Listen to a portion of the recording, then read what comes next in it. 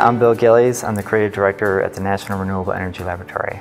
I oversee uh, the communication strategy for how the laboratory communicates what it does. So I work with scientists and researchers, um, helping them communicate what they do.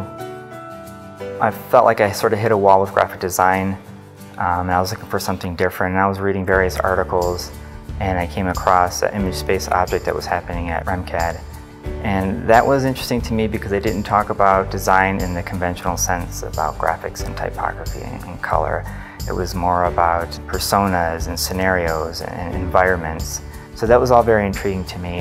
And I was looking for ways to learn that so I can continue to read articles and magazines and websites, or I could immerse myself into an environment that would teach me.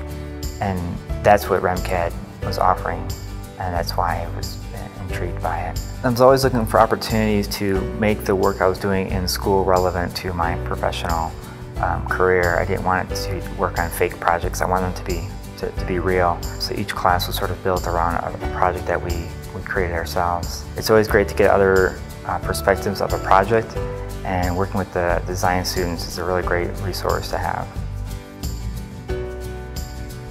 What I like about working here is the scale of impact.